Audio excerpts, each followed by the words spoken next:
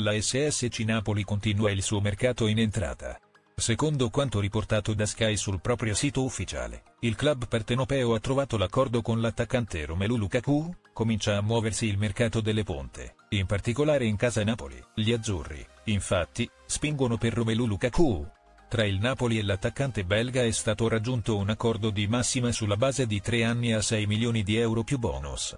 Adesso il Napoli dovrà intavolare la trattativa con il Chelsea che parte da una richiesta di 35 milioni di euro più bonus, anche se gli azzurri vorrebbero chiudere a una cifra inferiore.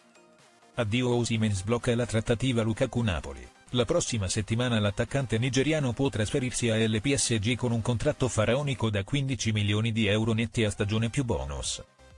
Per permettere però alla trattativa Napoli-Lukaku di potersi concretizzare, gli azzurri dovranno prima vendere Victor Osimen, sul nigeriano c'è il forte interesse del PSG e la prossima settimana potrebbe essere decisiva per provare a chiudere la trattativa, con il nigeriano che saluterebbe gli azzurri dopo l'arrivo nel 2020. In questi anni per lui 133 partite, 76 gol e 18 assist, riporta Sky.